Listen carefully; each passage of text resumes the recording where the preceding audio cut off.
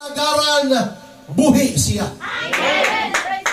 Buhi siya nga Dios nga atong gialagaran karon. Kay kung dili pa siya buhi karon, wala ta nining kalibutana. Pero salamat nga bisan kaniadto namatay siya tungod sa atong mga kasalanan. Pero ang Dios nga atong gialagaran karon, buhi siya. Ay kung dili siya buhi, walay pulos nga musimba ta niya. Pero nagtuo ko nga buhi ug uban siya nato karon kay ingon ang pulong sa Ginoo duha ug tulo magahisgot sa iyang ngalan naa siya sa taliwala mga igsoon. Amen, amen. Praise God, hallelujah. Di nato tugutan mga igsoon nga mupaulit ta sa atong panimalay nga adunay kahaw ang sulod sa atong kasikas. Amen. Gipalingkod na tamong daan mga igsoon before ko magbasa sa akong key verse kay taas-taas man eh. Tugod sa Ginoo nga sayo ta mahuman pero di ko ditugod sa Ginoo ah. Lagi tayo mahimo ani. Praise God kay sa akong gikaingon ini gusto ko magwali og mubo mataas. Ini gusto ko na ko tason mahuman po dayon. Depende ra gyud sa Ginoo mga igsoon. Matthew chapter 27 Kina ako'y gustong abrihan nga kaso sa inyong atubangan karon kay sa tinuod lang gusto gyud ko mag gusto gyud ko mag-abogado. Dili kay ko mag mga salida mga igsoon about sa kana bitawng mga trial trial.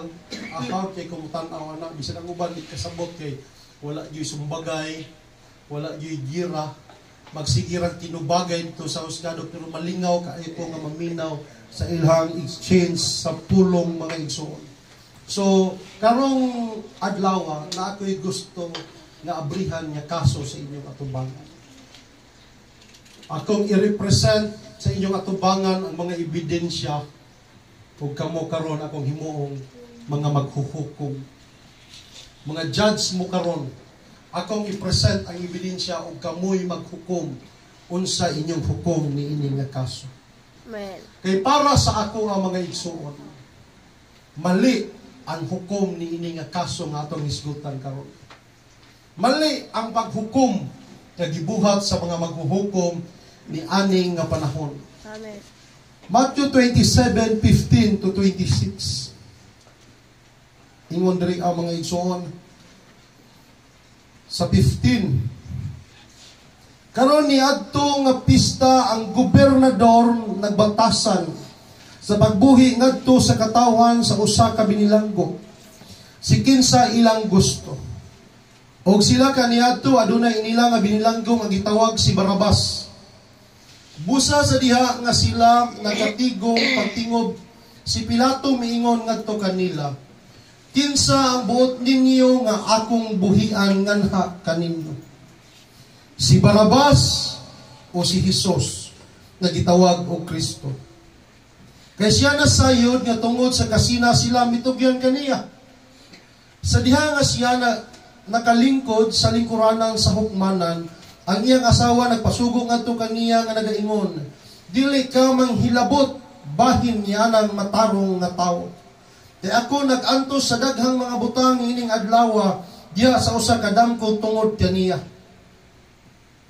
Apan ang pangulo ang mga ang pangulong mga pare ug mga katigulangan midanis sa panon nga ila gayod nga pangayoon si Barabas ug laglagon si Jesus. Ang gobernador mitubag miingon ngadto kanila, Hain sa duha buot ninyo nga akong buhian nganha kaninyo. Sila miingon si Barabas. Si Pilato nagaingon ngadto kanila, nan unsa ang akong buhaton ni Jesus nag nagitawag og Kristo.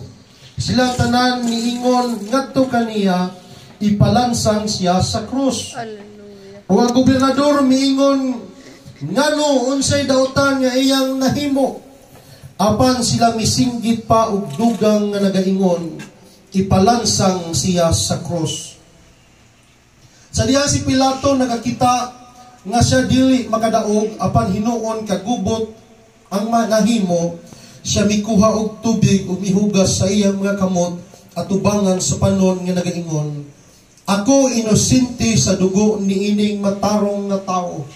Kamu ang nag-igo ni ini. Unya mitubag ang tanang mga tao nga nag-ingon ang iyang dugo maari kanamo og sa among mga anak. Unya gibuhian niya si Barabas ngadto kanila ug sa diha nga siya nakapa nakapalatigo ni Hesus siya mitugyan kaniya aron ilansang sa krus. Gusto na ko abrihan ni nga kaso mga igso. Kay sa ako ang paghunahuna sa akong pagbalansi. Mali ang hukom sa tao ni ini nga panahon. Gusto na ko hisgutan kamo akong papilion. Barabas or Jesus. Si Barabas or si Jesus. Si Jesus, mga igsoon, gidalas niya kang Pilato. O si Pilato gusto niyang buhian si Jesus. Kaya ilang asawa nagdamgo na mahitungod kang Jesus. Nagkaila siya kinsa si Jesus. O wala siya nahimo nga dautan. Ingon siya kining tawhana, wala nahimong dautan ng hunaw siya mga igsoon. Unya kay man niya gusto nga ilansan si Jesus, nagbuhat siya paagi. Nga makaikyas unta si Jesus.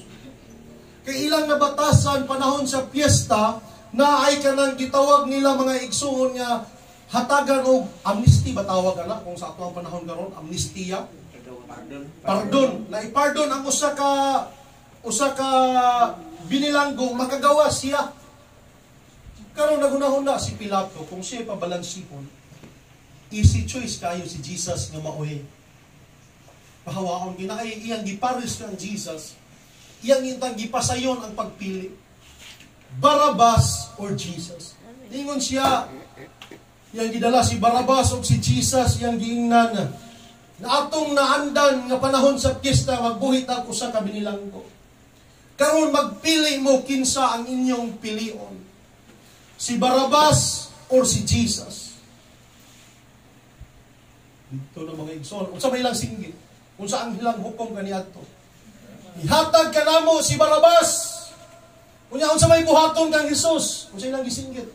Ilansang sa cross. Nya si ana si Pilato ngano ilansang man sa cross? Nga wala man ni nahimong dautan. Pero imbis nga moingon sila di ilansang sa cross, ang ilang hukom yung singgit sila kusog kayo nga ilansang sa cross. Walay nahimo si Pilato. Kay ni samot naman, magkagugot naman kung iya yung ipugos nga buhian si Jesus. Kaya ang gusto sa tao, si Barabas may buhian. Mo'y hinungdan mga igsoon nga nagkuha siya og gamay nga planggana. Dito asya mga igsoon ng hunaw. Ingon siya nga wala ko'y labot sa dugo ni ining inosente nga tao. Nga walay sala nga inyong ipalansang sa cross. Kay dugay na siya mga igsoon ang iyang asawa nagingon nga dili ka man hilabot ana kay dugay na kong gipadamgo. Di pa konsensya na ko. Nagkabalo na siya mga igsoon kung kinsa si Ginoong Kristo. Pero nganong ang tao, ila magipili nga si Barabas may buhian. Dili si Jesus. Gusto na ko mga igsoon, hatagan na itong pagtagad, unsa gyud atong basihan. Nganong nipili man sila ni Barabas, nga di ba si Jesus ang buhian? Para sa ako ang ilang desisyon, dili makatarungan. Unfair ang ilang desisyon. Mali ang ilang paghukom ni anang panahon na. Mo na hinungdan nga gusto na ko ning dadon sa inyong atubangan o gusto na ko nga kamoy maghukom. Pero before ninyo hukman, basahon sa nakong mga ebidensya kung kinsa ni silang duha.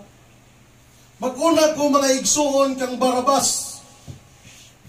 Ingon ang Matthew 27.10, Barabas is a notable prisoner kini si Barabas ili ilado nga binilanggo nga pag moingon kag Barabas ah, binilanggo na siya.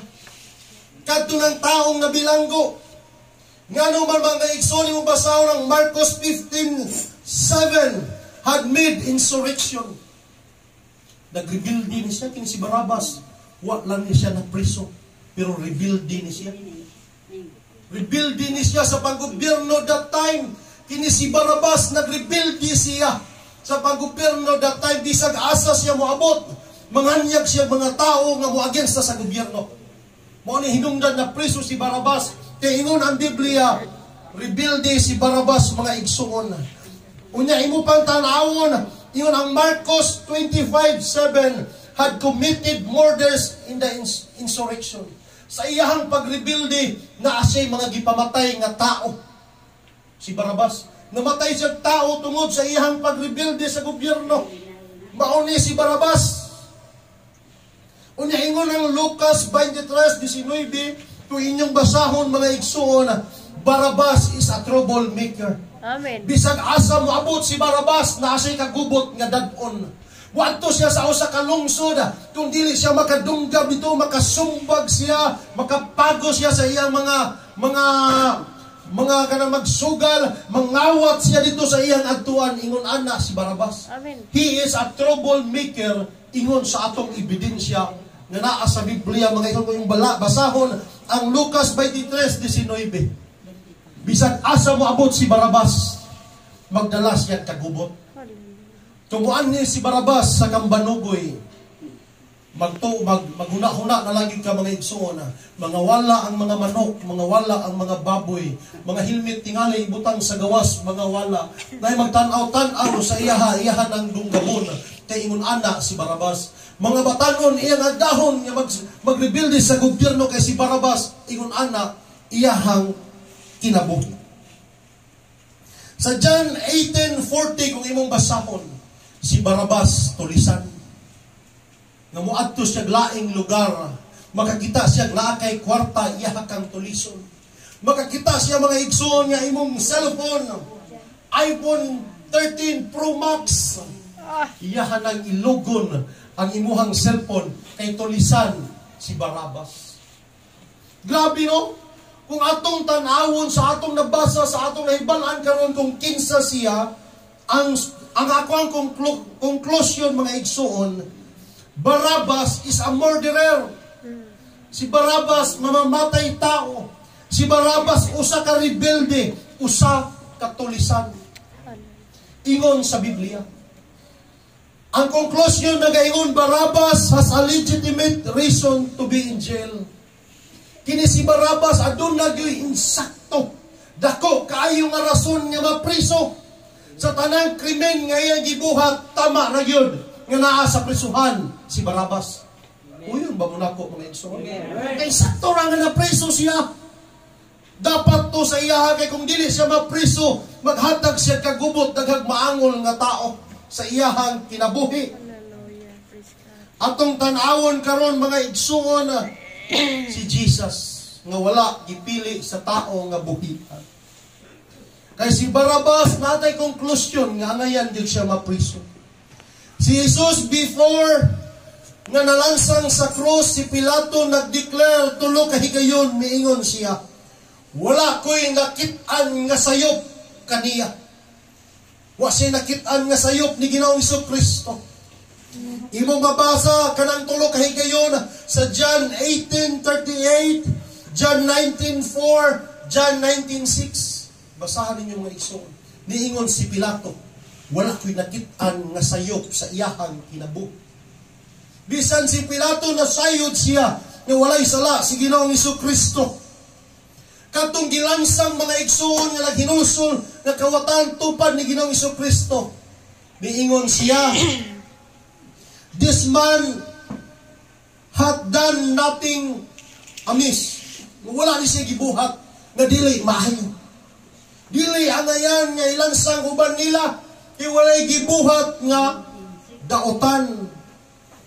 Ingon ang chief priest mga igsoon ug ang itong iskriba niingon siya he saved others. Nga kini mga igsoon sa diha nga muadto si Ginoong Hesus Kristo sa usa ka lugar dili siya mangawat sama kang Barabas. Pag muadto siya sa laing lugar, manghatag si Ginoong Iso Kristo. Iyang pakanon ang mga tao, mga igsoon. Gipakaon niya tinapay, gipakaon niya isda. Bisag asa siya moabot, maghatag siya pagkaon. Si Barabas kung muadto sa usa ka lugar, mangawat siya pagkaon. Si Barabas kung muadto sa lugar, iyang pasakitan ang mga tao.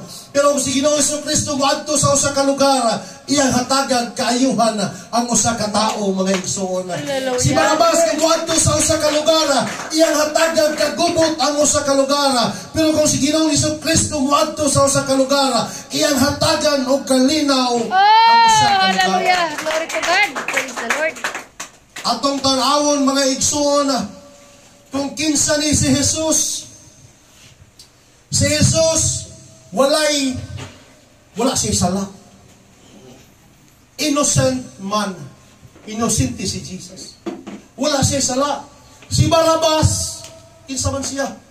Murderer, guilty man. Done nothing amiss. Si Barabas, si Jesus, walay gibuhat nga sayo. Si, Bara, si Barabas, law abiding rebel, insurrection, sedition, mo na yung kaso. Praise God. Si Jesus save others. Nagaluwas siya sa uban. Si Barabas nagapasakit sa uban. Si Ginoong Iso Kristo matarong. Si Barabas dili matarong. Si Ginoong Iso Kristo mitabang sa kadaghanan. Si Barabas nanguha gikan sa kadaghanan. Si Ginoong Iso Kristo anak sa buhi nga Dios. Si Barabas kung ingnon ibasahon nimo ang Biblia, the son of the devil. Kinabuhat siya og daghang mga bakak. ug ang amahan sa bakak mauman ang yawa mga igsoon. Kung imo na karong nabalansi ato nang nahibalan kung kinsa sila. Ang akong pangutana karon insakto ba kay ilang gipili nga buhian si Barabas kaysa kan Jesus? Kinsa may angay ilansang sa ilang duha? Kung kamo ang tao karon mga igsoon nga naa sa ilang atubangan niadtong panahon na. Kinsa man ang inyong buhian? Kinsa man ang inyong ilansang? Barabas. Sayon lang kaayo unta mga igsoon nga tubag niini nga kaso nga atong gihisgutan karon. Pero sa pagkatinuod lang sultihan tamo mga igsoon. Daghang panahon sa atong kinabuhi nga nagpili puta kang Hesus ug kang Barabas. Pero sad to say, wa ta kabantay gipili nato kanunay si Barabas sa Ginoong Hesus Kristo. May panahon sa atong pagpanalagad, obvious na kayo ang pagpili between tama ug mali. But still, atong gipili ang mali, mga igsuon nga nakabalo man ta kung sa'y tama. Mura na gihapog nagpili ta kang Barabas o kang Jesus. Bisag nasayod ta mga igsuon na importante gyud nga mga lagad tag matinud-anon diha ato bangan sa Ginoo. Pero gipili nato nga dili ta magmatinud-anon sa pagpangalagad sa Ginoo. Because there are many moment sa atong kinabuhi nga nagpili ta kang Barabas kaysa kang Ginoong Iso Kristo. There are many times sa atong kinabuhi, sobraan na taga-kapoy sa kalibutan. And sometimes, sinataganahan mo ampo. Kabalutang tama yun mag-ampo. Every morning, magpasalamat ta sa Ginoo. Every night, magigistorya ta sa Ginoo. Pero usahay din nato pilion mga igsoon si Jesus. Di atong gipili si Barabas nga nasayod pa nun ta taon sa'y kamatuoran. Nasayod pa nun sa tayo kay tama nga pagpili. usahay atong pasakitan ng kasing-kasing si Ginoo. It's very obvious nga siya ang atong angayan nga pilion. Every day, every moment sa atong kinabuhi, siya gyud unta ang atong pilion. Pero bisag obvious tayo ngayon ang pulong sa Ginoo. Seek ye first the kingdom of God and His righteousness, and all these things shall be added unto you. Pero atong gihapong pilion, katong mga butang sa kalibutan, intis atong pilion ang Ginoo. Na usahay ang Diyos kayo ang pagpili. It is between God or Barabbas. Praise God. But we still choosing Barabbas sa atong kinabuhi. Usahay perminti lang tayo mapildi mga igsuon. Perminti lang mapildi sa kaso ng atong labang magagagahom kay everyday sa atong kinabuhi. Dili man siya ang atong ginapili. Every moment sa atong kinabuhi. Usahay ato naman lang siyang take for granted. Tinuod man na mga igsoon mo sugod tag sa dili makasabot yun ang Ginoo sa ato. Pero the problem is dili gyud kasabot sa Ginoo usahay.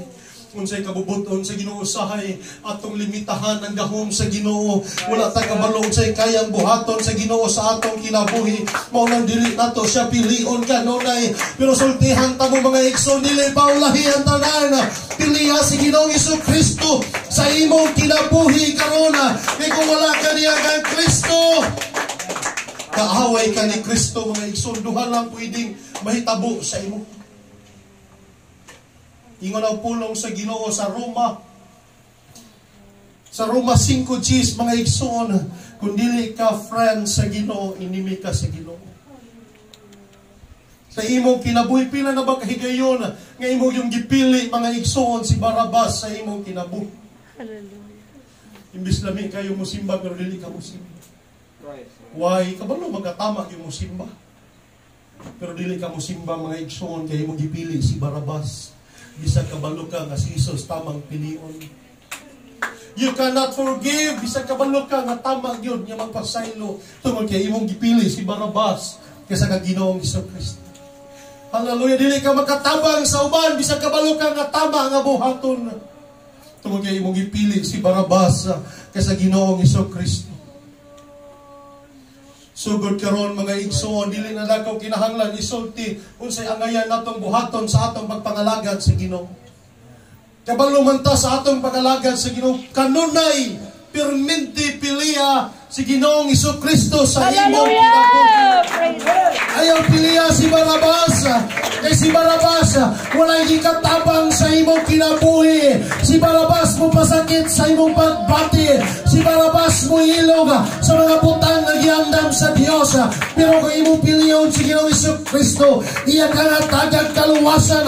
Iya kang iya kang ayuhon. Iya kang panalangin iyagang iblas sa tibok kaspito sa imong kinabuhi. Hallelujah! Praise God. Pwede ba manindaw taninin at nakakaroon mga igsoon? Ikaw karon magbalansi sa imong kinabuhi. Kaya walay laing makasusi sa imong kinabuhi. Ang Ginoo lamang og ikaw. Wala ka balo sa tinuod niya kahimtang sa imong kasing-kasing si pastor. Pero nasayod ka sa imong tinuod niya kahimtang at tubangan si Ginoo. Wala nasayod si pastor sa imong mga pagpili. Wala nasayod si pastor nga imo na gipili permente si Barabas kaysa Ginoong Iso Kristo. Karon mga igsoon, pwede kang mupili kang Barabas pwede po kang mupili kang Ginoong Iso Kristo. Pwede nga imong palabayon ni nga adlaw nga dili ka mapuno sa gahom sa Dios. Pwede usab nga imong pilion si Ginoong Iso Kristo na mo imuhatag og katagbawan na sulod sa imong kasing-kasing karon. Today you need to choose Barabbas or Jesus. Pwede imong puno ng imong kasing-kasing uh, sa gahom sa Diyos. Pero pwede usab imong puno na ang imong kasing-kasing o pagdumot. Uh, imong puno ng imong kasing-kasing uh, sa mga negatibong na butang. But let me remind you today, ang tama nga pagpili, ang pagpili kang Ginoong Iso Kristo sa imong kinabuhi. Daghang kayong panahon nga imong gipili si Barabas. Kaysa kang Ginoong Iso Kristo. But today, please, piliya si Jesus. Piliya si Jesus nilitag na karon mga igsoon. Buhi siya nga atong gialagaran karon. Amen! Come on, Hallelujah! Hallelujah! Hallelujah! piliya si Jesus. Receive the Holy Ghost. Of Jesus. Hallelujah! Hallelujah! Hallelujah! Yes! Give him praise, give him glory, give him honor today.